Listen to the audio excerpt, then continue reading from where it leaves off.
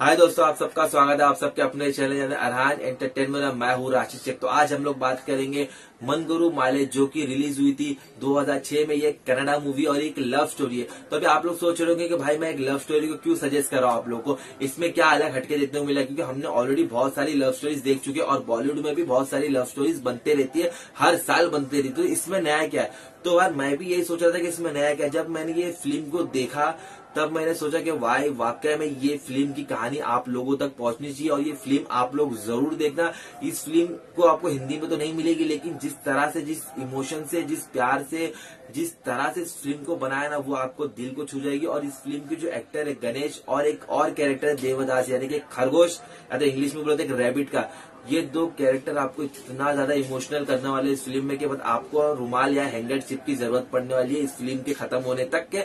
और ये फ़िल्म देखोगे तो इतना रियलिस्टिक वे में बनाई गई कि आपको कहीं से भी कुछ भी फेक नहीं लगता, कुछ भी बनावटी नहीं लगता। क्योंकि आप बॉलीवुड की आप लव स्टोरी देखोगे तो काफ़ी ऐसा लगता है कि सब चीज़ें रियल लाइफ में नहीं होती है सब बनावटी चीज़ें।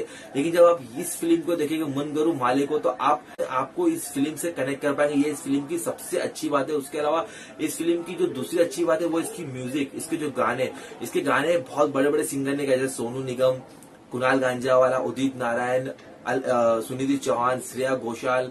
और म्यूज़िक इतना प्यारा है चाहे वो इमोशनल म्यूज़िक हो चाहे वो वो रोमांटिक म्यूज़िक हो म्यूज़िक इस फ़िल्म की जान और कहानी की जो भाई मैं जितनी तारीफ़ करूँ उतनी कम है। और गणेश ने जो रोल प्ले किया प्रीतम का इतना लाजवाब उस एक्टर ने रोल प्ले किया कि मतलब वो आप, लिटरली आपके आँखों में ना आँसू आ जाएँगे जब इस फ़िल्म को देखोगे तो। और स्पेशली जो खरगोश है रैबिट एंड में प्रीतम और देवदास, यानी को खरगोश, आपके आँखों में आँसू लेके आ जाएँगे और आप लोग यही सोचोगे कि यार ये लव स्टोरी हमने आज तक कैसे नहीं देखी।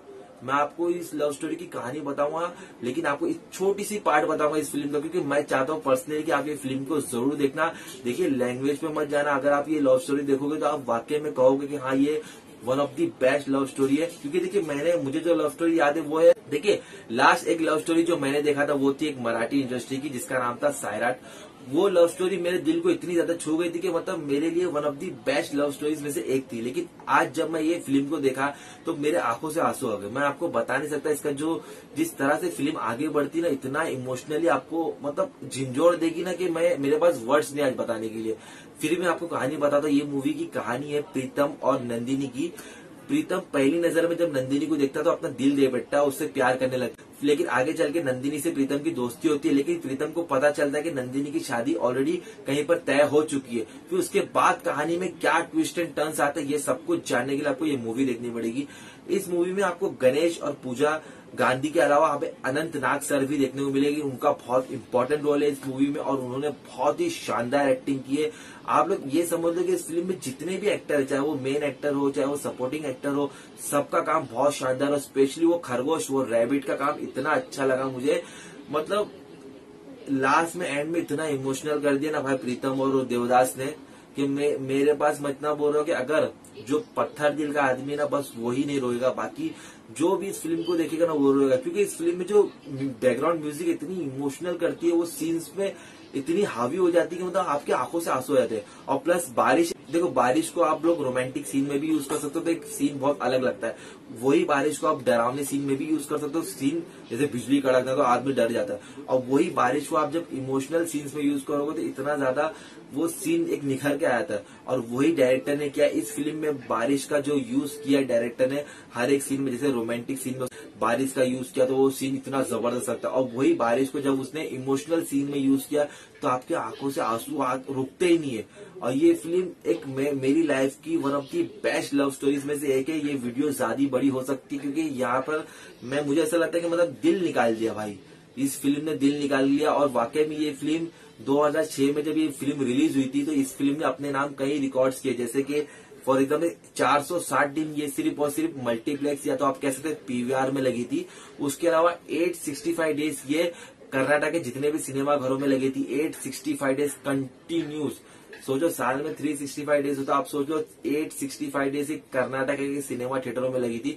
उसके अलावा ये मूवी सिर्फ़ दो करोड़ बनी थी और लगभग ऑलमोस्ट पचास से पचहत्तर करोड़ का बिज़नेस की थी 2006 में।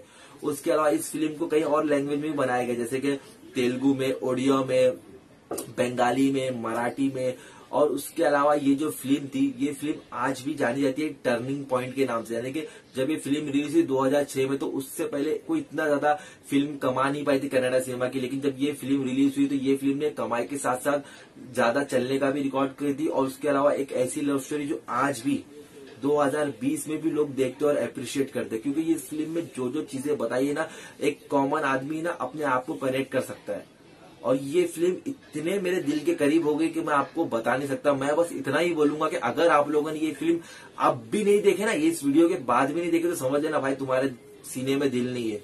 ये फ़िल्म देखो और इतनी ज़बरदस्त फ़िल्म भाई चाहे वो डायरेक्टर योगराज भट्ट की तारीफ़ करो या एक्टर गणेश की या उस खरगोश की या पूजा गांधी की या अनंत राज सर की, जिसकी तारीफ़ करो उसकी कम है। भाई ये फ़िल्म को जाके देखो, ये आपको यूट्यूब पे मिल जाएगी, ये आपको कन्नड़ा लैंग्वेज में मिलेगी। मैंने इसको कन्नड़ा लैंग्वेज में देखा, लेकिन आपको इतना बता दू, कोई भी लैंग्वेज होती ना इस फ़िल्म की फ़िल्म में जो मज़ा है ना, वो मज़ा कम नहीं होता।